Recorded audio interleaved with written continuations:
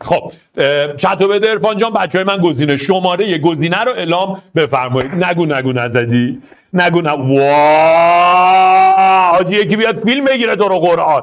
فکر نکنن ما جدول علکی میدیم. ماشاءالله ماشاءالله ماشاءالله. آقا همون انسانی یعنی اینا که اون اعتماد به نفسشون رو بریدید. انسانی هایی که جرأت نمی‌کنن سمت تست ریاضی برن. داره می‌زنه درست هم می‌زنه 1400 شب امشب می‌زنه و درست می‌زنه. ماشاءالله بچهای من. ماشاءالله ماشاءالله. تمام تمام تمام تمام تمام تمام. خیلی میگن آقا اولین بار داریم یه تست می‌زنیم. ماشاءالله ماشاءالله ماشاءالله. اصلا جای حرف نیست. باری کلا تک و توک غلط هم داریم. بالای 90 درصد ولی درست. عالیه. عالیه. مرسی مرسی مرسی مرسی مرسی مرسی مرسی مرسی. بعضیا میگن بیمداد زدیم. این که عالیه این بی‌نظیره عرفان جون نگرش دار. حاجی جان تو اف منفی دو دادن که شوخی کثیفی بیش نیست. یه, یه منفی دو این پشته.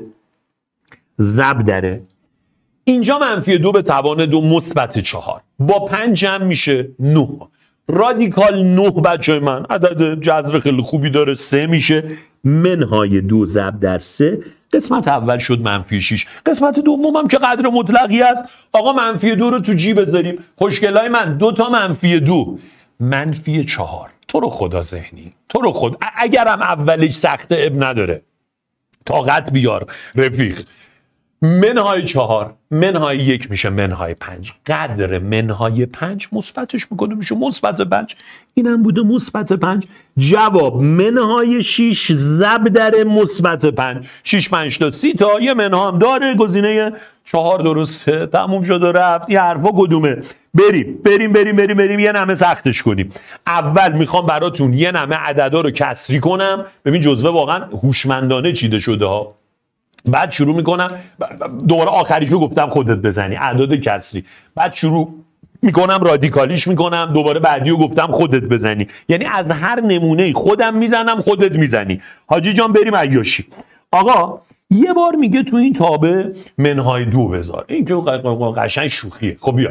دو تا منهای دو. منهای چهار. منهای پنج. منهای نو یه قدر بگیریم. مثبت نو آقا جذرش هم بگیریم. سه. 97 حاجی این یکی. دو برابر اف یه دوم. بچه من اف یه دوم. یه دوم بذار. دو تا یه دوم. یک. یک منهای پنج. منهای چهار. قدر مطلقش مثبت چهار. جذر بگیرم ازش. دو.